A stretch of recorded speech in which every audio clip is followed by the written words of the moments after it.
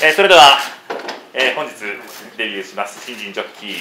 まず大山龍太郎氏です。この度医師免許合格。そして今日デビューおめでとうございます。ありがとうございます。今どんなお気持ちですか？いや本当に嬉しい。うんうん。でデビューするってなってちょっと緊張もありますけど、うん。みんなの答えに期待に応えたいと思います。うん。うんまあ自分自身ではい。自分のいいところアピールするところっていうとどういうものがありますか？やっぱり小柄な体格で優れたバランス感覚を生かした騎乗ができるところです。うん。でそしてデビューを迎えるしたくさんのはい。調教師さん、はい。馬主さん関係者の皆様からの支援があって騎乗馬が多くありますね。はい。いどういう思いですか？や本当にありがたいしその乗せてくれた人たちの期待に応えられるような騎乗ができるでをしたいです。そしてこれからはファンの皆様の前でレースをすることになります。はい。じゃあそのファンの皆様に向けてぜひ大きにアピールしてください。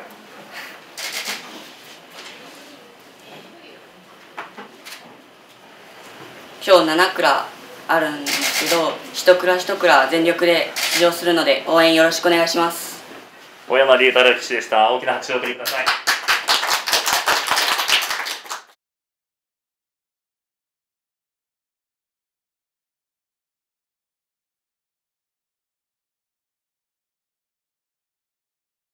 兵庫県初の女性ジョッキーです。佐々木セレ騎士です、えー、騎士免許合格今日デビューおめでとうございます。ありがとうございます。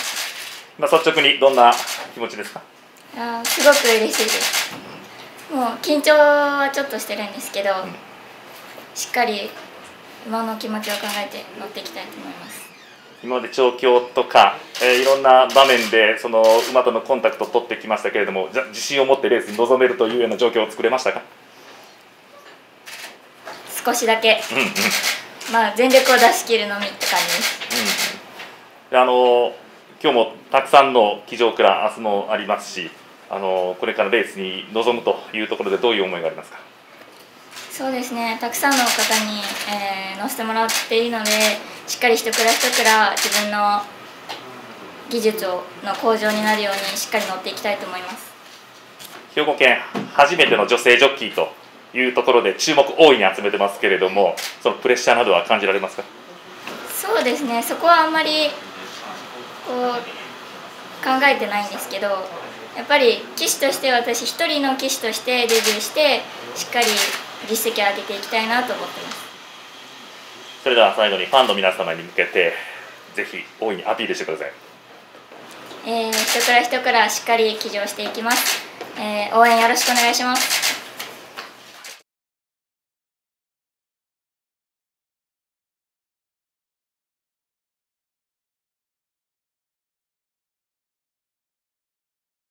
えー長尾タスク騎士です。この度は騎士免許合格そしてデビューおめでとうございます。ありがとうございます。今どんな思いでレース当日を迎えますか？やっと始まるなって思います。早くこの日が来てくれというような思いがあったわけですか？早く来いっていうのもありますし、もうちょっと準備したいなっていう思い、もうちょっと準備してからそうです半分半分。あそうです調教とか実践に近い農研なども乗ってもうレースに対する感覚っていうのはつかめつかめたように思います農研乗ってから少しイメージはできまし今日と明日騎乗からも結構多くありますた。はい。どんな思いでしょうか？まずはしっかり先生の指示通りに乗ってこれるように焦らず乗っていきたいと思います。ファンの歓声が聞こえてくる中での今日からの騎乗ということになります、はいえファンの皆様に大いにアピールしてくださいはい。何か言ったことありますか？はい、えー感謝の気持ちを忘れず、えー、一蔵一蔵大切に乗っていきます。よろしくお願いします。